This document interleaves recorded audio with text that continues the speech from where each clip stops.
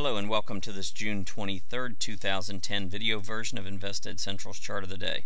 I'm Tom Bowley, Invested Central's Chief Market Strategist, and it's my pleasure to provide you with today's Chart of the Day.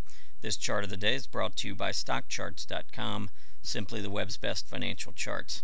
Today we're featuring uh, Discovery Communications, ticker symbol DISCK. This is about an $11.2 billion uh, media and global entertainment company. Taking a look at the chart, actually, not a whole lot here that uh, not to like uh, when you just take a look at where we've been. Um, when the market topped in late April, early May, we did pull back, but we've been able to make our way all the way back up to test the recent high. So I guess the question is, why would we think about shorting this stock? Well, there's a couple reasons. Number one, there's a very, very big resistance area that we've now failed at two consecutive days, right at about the 3360, 3370, 3375 area. So that's a big resistance area.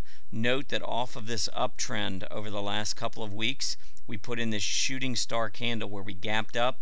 We traded intraday well above the resistance area and then failed to hold it on the close, coming all the way back down, closing beneath resistance. Uh, so we didn't get the breakout and notice that the volume, this was on um, uh, Friday, you can see that the volume had actually picked up quite a bit Friday on that failure. And then on Monday, we actually gapped up above resistance at the open and came down and failed once again, this time printing a bearish engulfing candle.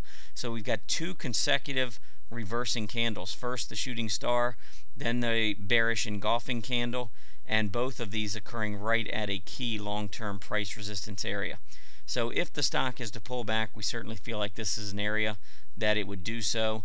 And with those bearish uh, reversing candlesticks in play, you can consider a long, or excuse me, a, a short position with a fairly tight closing stop.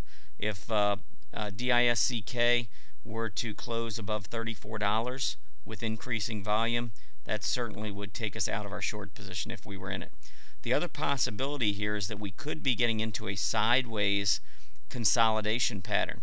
This, this is the second high up around the 3360, uh, 3380 area, but notice there have been multiple lows down between 29 and 30 that have held on the downside.